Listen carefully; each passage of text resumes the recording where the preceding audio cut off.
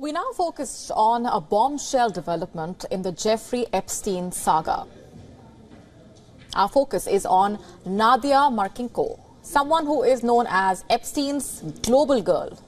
Following the release of the explosive court documents, she has vanished, she disappeared, just as a New York court unveiled details of Epstein's extensive sex trafficking network. Now, for the unversed, this network allegedly involved high profile figures, including two former US presidents, a member of the UK royal family, and several celebrities.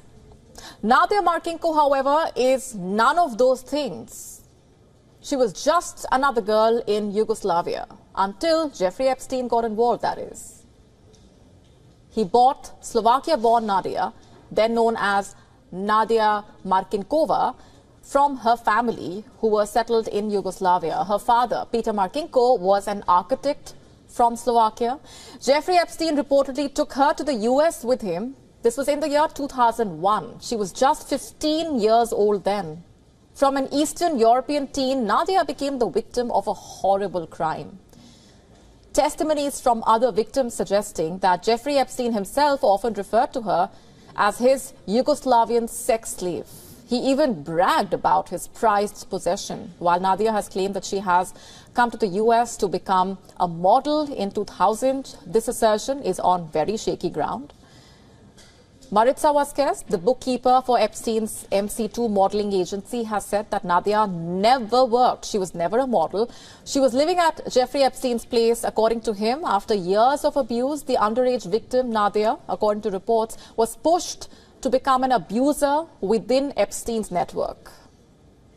Nadia Marcinko now faces serious allegations. Allegations of procuring and engaging in sexual abuse with underage girls alongside Epstein. Back in 2008, when he was originally charged, she was not prosecuted and was granted immunity. At the time, Nadia was still underage. It was at the time also clear that she herself was a victim Nadia has evaded any formal charges so far. There are multiple layers to Nadia's association with Jeffrey Epstein. She traveled around the globe with him as per reports and then she is speculated to have become his pilot. In fact, in a 2017 video, Nadia Marcinko appeared as both a high fashion model and a skilled pilot.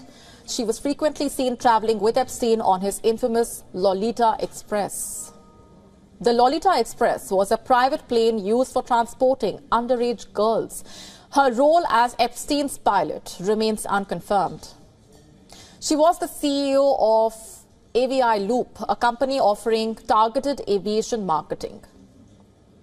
Before her entry into aviation, Nadia also dabbled in the real estate business. The place she lived at was also owned by Jeffrey Epstein's real estate developer brother, Mark. Before he was found dead in jail in 2019, Nadia visited Jeffrey in his Florida prison cell 90 times.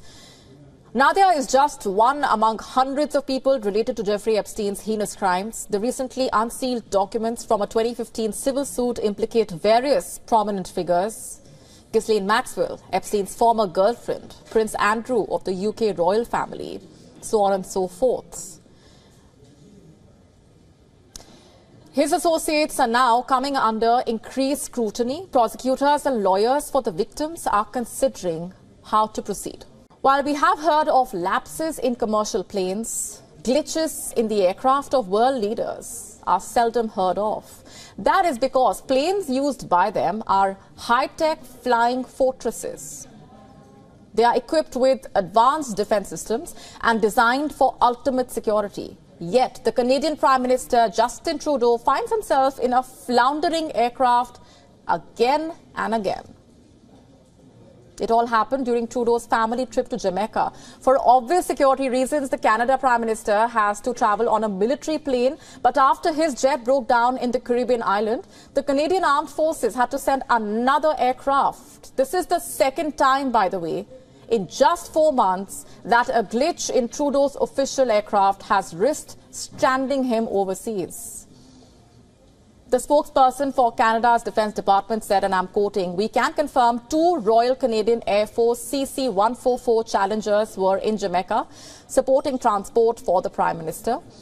According to the news outlet CBC News, the issue was identified on the 2nd of January Of the two planes that were dispatched following that glitch, the second one carried a maintenance team. They arrived a day later to rectify the problem with the first aircraft. The culprit, CC-144 Challenger aircraft, reports say they have been recently acquired by the Canadian Armed Forces. As I said earlier, this is not the first time that Trudeau's plane has faced a glitch. In September 2023, remember, during the G20 summit in India, a fault in Trudeau's aircraft delayed his departure by two days. Earlier in 2019, Trudeau's VIP plane collided with a wall when it was being brought to the hangar. This freak incident damaged the plane's nose as well as the engine. And before that, in 2016, Trudeau's plane experienced technical issues and had to return to the Ottawa had to return to Ottawa within an hour after takeoff. He was on his way to Belgium to sign trade deals with the European Union. What is going on? How is the country letting its leader fly in dysfunctional planes? The repeated snags of the Prime Minister's aircraft raising serious questions regarding Canada's state properties. It has already sparked a debate about the country's crumbling infrastructure it is an embarrassment to say the least for Canada. After all, if technical snags delay the world leaders' travel plans, does not, doesn't it reflect poorly on the country? It might come as a surprise for you, but the Canadian Prime Minister flies in an aircraft that is nearly 40 years old. CC-150 Polaris, the one that broke down in India, is most commonly used as uh, the Canforce One. The Canadian Prime Minister uses this aircraft for international trips.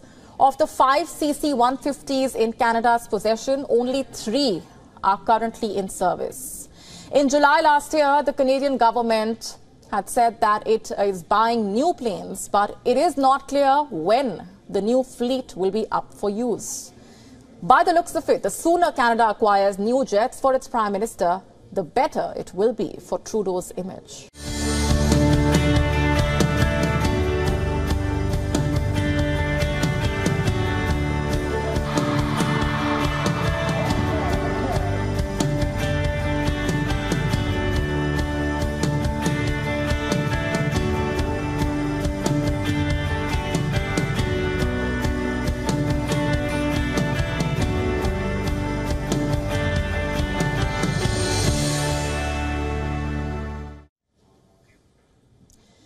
We've all been told to dream big and follow our dreams.